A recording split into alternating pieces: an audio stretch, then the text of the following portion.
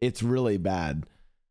Uh, T and I both do it, and we do it all the time. It's like anytime there's like a list of things where I, and like it'll always it always starts. It's like I ramp into the juicer. It's like it's like it's like a slope into juicer speech where I'm like, you know, I'm going to Vegas this week, and I'm and and you know T you know T and I were like checking. It's like okay, right, get plane flights. Uh, do we have someone to take care of the cats?